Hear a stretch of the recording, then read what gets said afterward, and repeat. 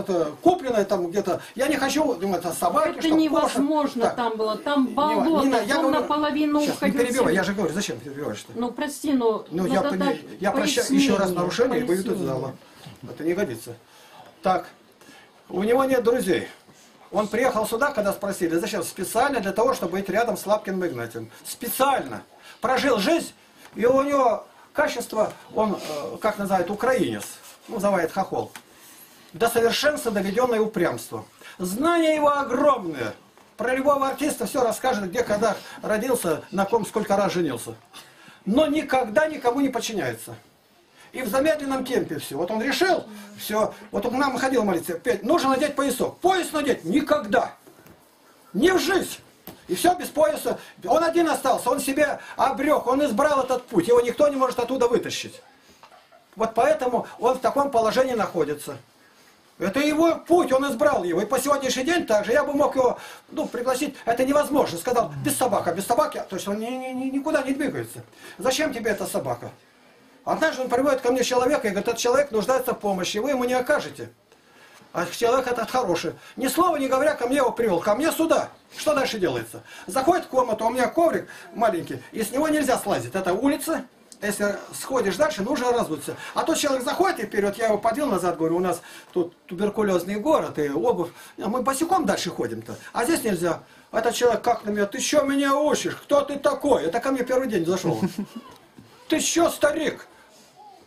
Ты что делаешь со мной? Я говорю, ты кого привел-то ко мне? Ну-ка быстренько входите на улицу, за ограду, за ограду и все. Вот таких приводят, такие твои друзья. У меня таких нет друзей. Я сам люблю слушаться и прошу тоже. Но сначала, прежде чем меня слушаться, ты скажи, у меня есть лучший вариант. Я буду тебя слушаться. Но у тебя ничего нету. Я говорю, шторки должны быть закрыты. А Другой вариант, должны быть открыты. Вариант только два со шторками. Да какой вариант лучше? Закрытые шторки, мы здесь находимся 13 лет и окна целые. Открытые будут, еще не будет. Тут рядом соседи, все это разграбленное. И та- такое дело мы знаем. Любое дело мы выносим на обсуждение. И это в епископу, епископе уже знают и говорят. Вот отец таким встретился вроде как, а он ничего не решает.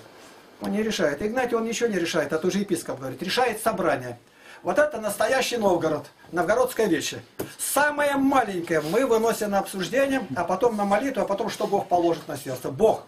Мы не верим, мы не верим что Бог не отвечал такому множеству людей. Так, еще вопросы? Хорошо. Про того священника надо сказать, который потерпел аварию. Жена А я погибла. ничего не знаю, что Еще, ладно, говори. Я хочу попросить помолиться. У меня по работе выхода нет. Или мне увольняться, или без содержания брать, потому что у меня нет учебы. Учеба закончилась много лет назад. Знаете, я два декрета отсидела, поэтому... И завтра у меня просто заведующая идет главному, чтобы меня э, ну, здесь проучили, но уже платно. Либо мне нужно будет ждать учебу, ее второй год откладывают. Когда она будет осенью или в следующем году. То есть надо, не надо, помолитесь, чтобы вот мне получить этот сертификат, чтобы я продолжала э, считаться врачом еще. Понимаете что? Она закончила местный университет с красным дипломом. Но тут разные события, получилось так. У врачей вот это не терпит, чтобы без практики быть. Это заново пересдача. Так что понимаем. Сестра нуждается в помощи. Молитвенная помощь. Молитвенная помощь. Спаси Христос. Ни- Никогда не проходите со своей нуждой мимо. Мы все примем и все на молитве выставим. Давай. Вот э, мне про Раисы Николаевны звонила Татьяна. Про этого Сергея, это вот вы говорите, священника-то. Да. Вот. Он, значит, приехал туда, и Татьяна говорит, Татьяна теперь на клиросе поет. Какая Татьяна? Истогова, Аксенова. Истогова, Истогова. Аксенова. А, Очищается там. Вот, вот. Понял, понял. Так. Татьяна она- Павловна. Татьяна Аксенова. Павловна, Да, да, да. Вот, она что про этого отца Сергея говорит? Он каждую, ну, службу делает проповеди. И она прям заплакала и говорит, я так рада, и просила помолиться всем, чтобы у него дальше так шло. Потому что вся церковь, какая там церковь, Нин, ты знаешь, да? Маленькая церковь, и полностью э, половина села ходит в эту церковь. Даже бывает, что Церковь не такая уж маленькая, она больше в два раза, чем наш дом. Да? Но это маленькая или нет? Ну, нет, Я зачем сказали? Ну, столько, мол, народу. Нет, она- Там ходит шесть человек, просто бабок, и все. Хорошо. Вот в чем дело. Понял. Давай, Игорь. Маленькое объявление, два объявления. Первое объявление, значит, такое не духовное, но полезное для плоти. Э, Будьте осторожны на дорогах сейчас. Вот у моей жены, у Юли, она работает в больнице, бабушка 66 лет, очень опытный неонатолог, врач. И эта бабушка расположилась к моей жене, все там у них разговоры, но она была очень упрямая. Что результат? Ее сбивает машина, то есть Юля говорила, как вот она может закончить свою карьеру. А закончилось просто на этой неделе. Был большой снегопад, она пошла в неположенном месте, ничего не смотрит. А таких я сестер уже встречал. Вот идет вот так и не смотрит. Машина, я в этот день ехал, я молился, чтобы никого не сбить, потому что снег идет, ничего не видно.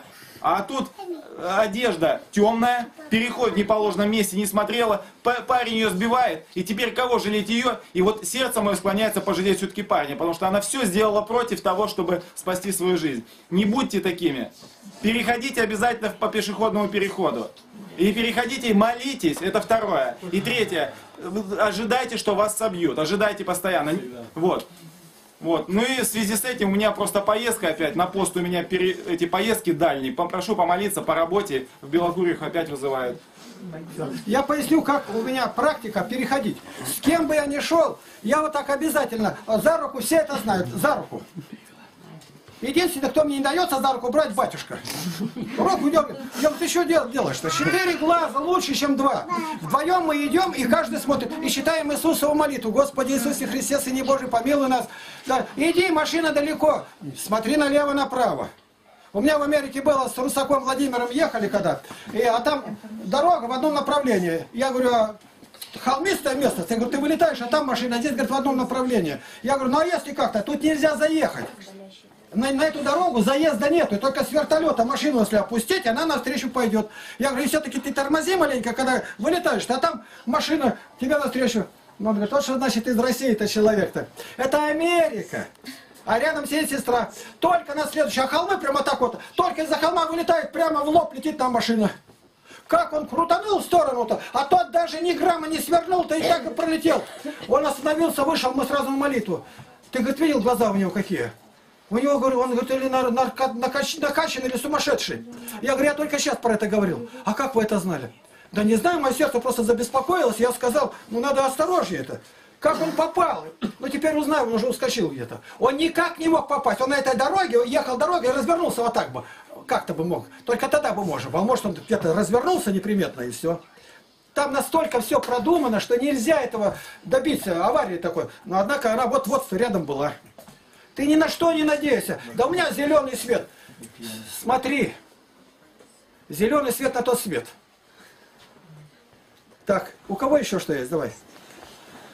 Э, Я прошу ваших молитв. Во вторник будет комиссия. Я решил восстанавливать права водительские. Ну, потому что водителя не хватает на дело благовестия. И столкнулся с препятствием. То есть во вторник будет комиссия э, решать, нужны они мне, эти права, или не нужны. Вот. Поэтому молитесь, пожалуйста. Понятно. Какая По здоровью, По здоровью. По здоровью. И еще, вот сегодня подходит к причастию, я просто всегда там стою, некоторые подходят, что-то начинают, э, когда пить уже не к причастию, от причастия. Кто-то начинает креститься, там уже двое-трое стоят, батюшка быстро же причащает. Вы хлебушек возьмите, вы его медленно, долго жуйте потом.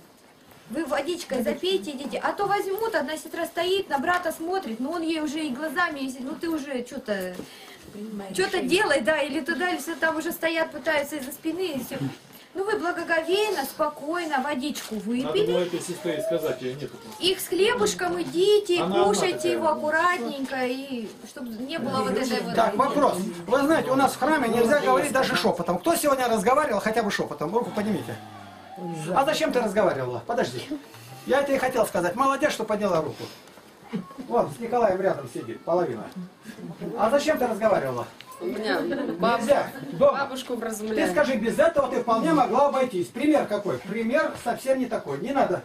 Ни одного слова. Если кому нужно, выйди, но назад уже ты не зайдешь. В коридоре будет. И зайди там в кочегарку. Ну, бывает нужда там какая-то. И хочу сказать еще, давно уже назрел вопрос, чтобы с детьми не разговаривали.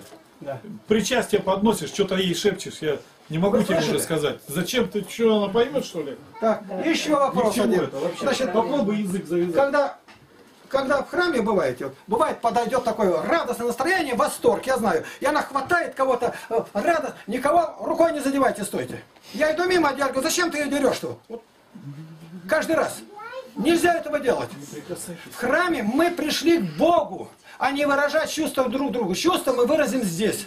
Вот у нас обед, сейчас будут занятия. Вот обнимай здесь, целуй сколько надо. В храме никуда, только к небу. Если ты в храме вышел, то назад уже не заходи, даже если ты по нужде вышел, бывает старый, ты стой в коридоре, и пока батюшка не пойдет, а за ним коридор делается, когда он э, кадилом, э, а, ну, кадит иконы. чтобы никого не потревожить. У нас даже ногами не переступает никто. Не нарушайте порядок. Это хороший порядок. Очень хороший. Мы пришли к Богу. Я не знаю, в каком храме еще есть такое, чтобы 7 минут была мертвая тишина перед богослужением. Чтобы мы устремились в молитву благодарности, чтобы священник Огненное было дыхание у него. Чтобы все было посвящено моему Христу посвятить. Берегите вот это то, что у нас есть. Мы уже совсем близко, когда будем говорить уже одновременно и о детском лагере. Я снова обращаюсь к Игорю. Марина, чтобы взяла это на себя, определяла сестры, кто когда пойдет, вахтовым методом. Лагерь будет. Главное, сестры. Однозначно. Но в лагере все время буду или я, или Виктор Николаевич, старший воспитатель. Я как начальник. Кто-то из нас должен быть. Без нас никак нельзя. Тут может быть комиссия государственная, прокуратура, санэпидемстанция. Ну и вообще должен быть человек, облеченный полномочиями. А уже кто из вас будет? Не говори ты старенькая, ты нужна. Смотреть. У нас лишних никого там не бывает. Прямо конкретно сегодня уже думаю. Что те годы мы брали вот, э, в типографии, для тюрьмы в каждую камеру каждому давали не сотни, а тысячи календариков. Сейчас там нам ходу нет, у меня одного нет. У кого есть лишний, принесите мне один. У меня ни одного нет календарика. Я только на компьютер смотрю в интернет, какой сегодня день. У меня ничего нету, я оттуда нас отсадили. Да не отсадили, мы вроде наполовину отсажены, сами ушли. Ну что, у тебя есть? Есть. Так, я тебе попутный вопрос. Что с Германией? Ну, я больше недели связи не имела, не знаю, но так примерно две недели назад было такое происшествие, что Валентину с ее девочками, то есть дочерями ее, Екатерину и Татьяну, от клироса отлучили. Э, они теперь стоят, э, молятся. Э, послужило причиной то, что, ну, со всеми, платки их там раздражают. Ну, мало того, что это, там ей, ну, как бы, как это, спровоцировали ее, хотел, он пытался спровоцировать ее священник для того, чтобы обличить ее в расколе. Пред, предложил ей для начала в Зоннеберге потрудиться, походить, всем сделать объявление, что там будет у них открыт храм. И попросил ее позаниматься этим вопросом. Далее потом он ей предложил э, одно письмо, Э, и сказал, Валя, я вот тут его не запечатал, ты, ты съезди вот к этому священнику, там сказал, куда, в другой город, и э, прочитай вот для начала вот это письмо. Когда она пришла домой, прочитала, и он ей еще дал, туда положил деньги на проезд. Она прочитала, поняла, что э, хотят что-то что он замышляет, только она не поняла, что он замышляет с этим и отказалась. И позвонила мне, что мне делать с деньгами. Я говорю, отправь назад. И не занимайся этим вопросом, ты никто. Если священник надумал открыть храм, то он сам будет этим заниматься, а ты никто. Ну и она так и сделала. И через неделю, когда приходит в храм, то там висит объявление, что Валентина Сартисон со своими дочерями э, э раскольники – они открывают новую церковь в своем городе. Скажи, как меня вот. там поминают там, в Германии? Ну и там прихожане стали ее спрашивать, что вы делаете? Она говорит, я ничего не знаю. Тогда матушка э, вызывает ее дочь старшую Татьяну в детскую комнату, закрывает. Батюшка и начинает там давление на Таню, отрекись от матери, от сестры Екатерины, они вас вводят в заблуждение, и самое главное, что вы нашли себе учителей иных, ваши учителя вот такие-то, такие-то, и очень поносит дерзкими, гнусными, грязными словами нашего наставника Игнатия, нашего чтеца, что это вот он, и он такой-то, такой-то, мой э, батюшка, она матушка, Арсений звонил и разговаривал с ним. Так он его по телефону матерно с ним разговаривал. И так дерзко, что батюшка и даже дальше не стал с ним разговаривать и э, это, трубочку положил. Вот такую. А кто информацию. матерно-то был? Я? Матерная Я наша. так за всю жизнь, мне 73 года будет, 10 июня, ни одного матерного слова не сказал. Бог миловал меня. Когда Это Тамара... среда была такая старообрядческая. Ну, Бог в страхе вас. Ни одного матерка за всю жизнь не сказал. В этом... Тогда Тамара ей напоминает Валентине, ты вспомни, в книге Игнатий э, повествует о таком событии, когда у него кобыла там или где-то в трясине э, застряла, и он ее пытался вытащить, а тот э, сатана кричит ему, что ты сматерись, и эта лошадь-то сама вылезет оттуда, ты только сматерись. Так он даже в тот критический, критический момент для лошади, он этого не сделал, он не произнес этого матерного слова. А сейчас ему пытаетесь вот это, до этого никогда не было и не будет. Ну и вот дальше событий вот этих двух Понятно. недель не знаю. Так, маленькие события на перенесу на следующий день. В прошлый раз мы записывали, здесь выступала Марина, рассказывала о поездке во Францию. -то. И вот это сразу выставил, я к утру уже выставил это. И какие пошли отзывы. Вам, если интересно будет, я принесу в следующий раз, ну, там немножко совсем почитать. Какие отзывы? Вот на это, сейчас ничего не знаю. А, Миша, подожди. Вот. Как люди смотрят на наши вот занятия. Людей очень много заходит. Вот, допустим, 100 человек зашло, видео 99. А фотография один. Вот от наше, что снимается видео, представьте, ну, 99% людей, заходящих ко мне в интернет, смотрят, ищут это. А потом говорят, вот мы находили, я гляжу, адвентисты наш ролик себе перетащили и поставили. Адвентисты. Вообще удивительно. Там другие какие-то, священнику зашел, там три наших ролика, наши беседы, они, у него много роликов, там разные берут, а это наше он поставил и показывает. Я заметил, там надписи нет, а адвентисту я говорю, э, их руководителю, я говорю, надо бы написать, что это вот та- там-то, там-то. Я пока погасил, открыл заново, ну несколько пока минут, и гляжу, уже все стоит, что я ему посоветовал. Он скопировал, сделал. Галя. Я хочу всех поблагодарить. Я болела, 10 дней меня не было. Я хочу всех поблагодарить, кто мне звонил, кто за меня молился, кто даже за меня не молился. Но я всех хочу поблагодарить.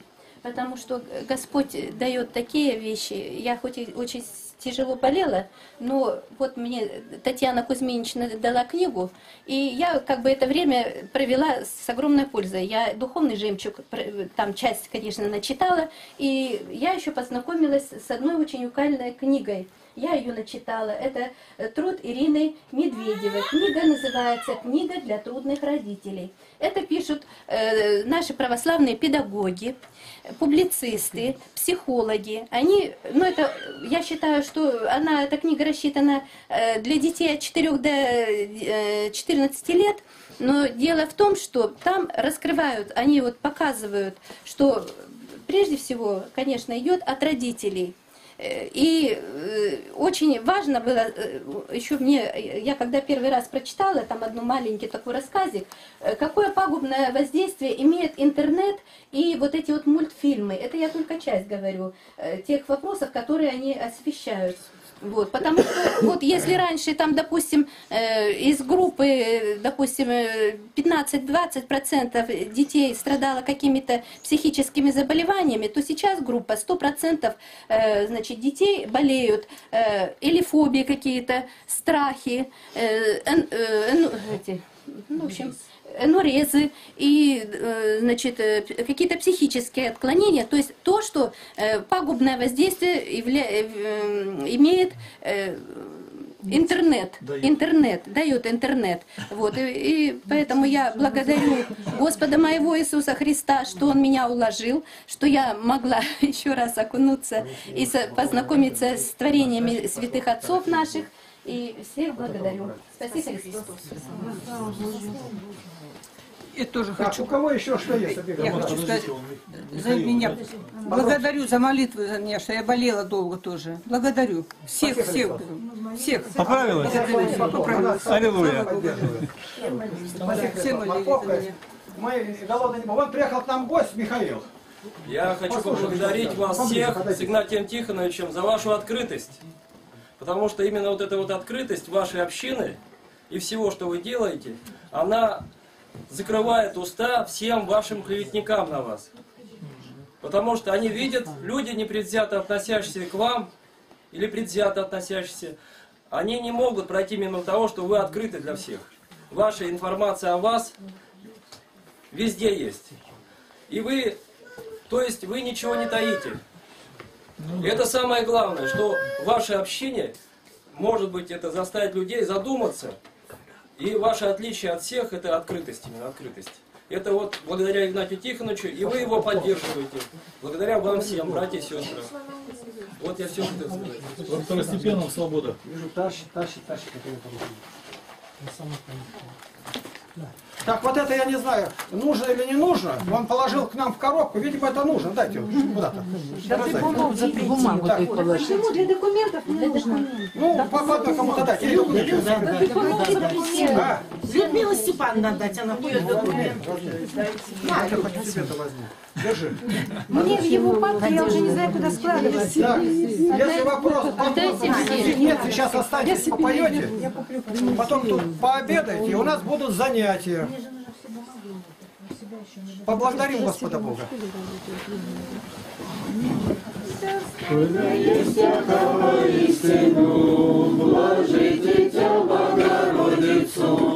пресноблаженную и пренепорочную, и Матерь Бога нашего, честнейшую Херувим, и славнейшую без сравнения Серафим, без исцеления Бога Слово Рощую, сущую Богородицу Тебя величаем.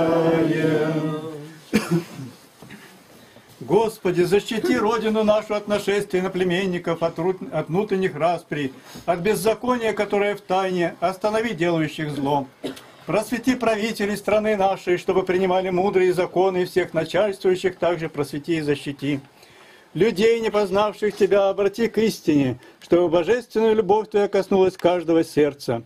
Священники, которые не служат Тебе как должно, пусть покаются в небрежении своем и проповедуют смело и на славном об Иисусе Христе. Господи, праведны суды Твои над Россией за то, что оставили Тебя и Слово Твое изреченное в Святой Библии. Прости нас, Господи, Владыка жизни, что сокрыли имя Твое, Бог Иегова. Дух Святой да наставит нас не признавать никаких иных богов вопия. Авва, Отче! Господи, научи нас семикратно в день прославлять Тебя за суды правды Твоей. Тебе хвала, слава, честь и поклонение, Пресвятая Троица, Отец, Сын и Святой Дух. Аминь. Аминь. По славу Божию. С миром Божьим по домам.